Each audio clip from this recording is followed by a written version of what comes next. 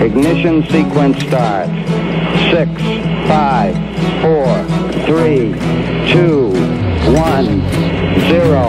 Liftoff. We have a liftoff.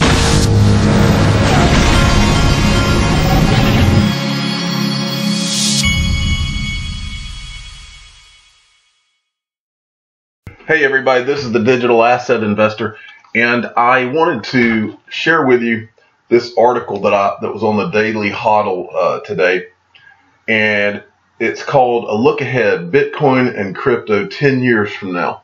And they took some executives from the industry, and I wanted to read to you a few of their quotes.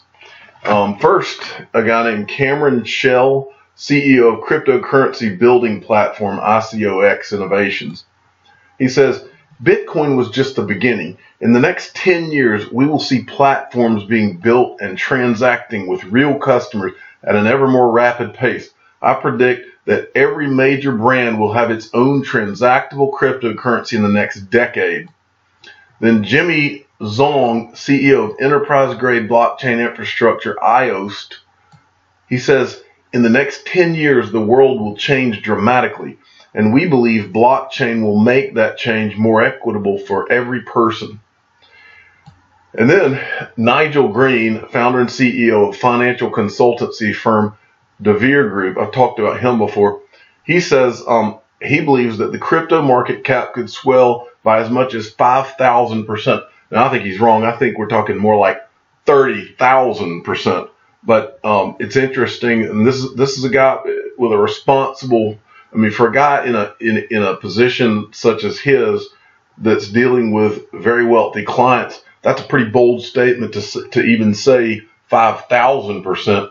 That puts XRP at around say twenty two dollars, just to put that in perspective. And then Danny Kim, head of growth at crypto prime dealer SFOX, he says within two years from now you'll start seeing Bitcoin and crypto held in traditional 401k plans now, who has told you that? That's right. The digital asset investor has been saying that from the beginning. I am not an investment advisor. I'm the digital asset investor. This is for entertainment purposes only. Please subscribe and hit the like button and tell your friends and family that the digital asset investor said that that digital assets will be in 401k plans and that the growth will not be 5,000% over the next 10 years. It's going to be 30,000 or more. Thanks for listening.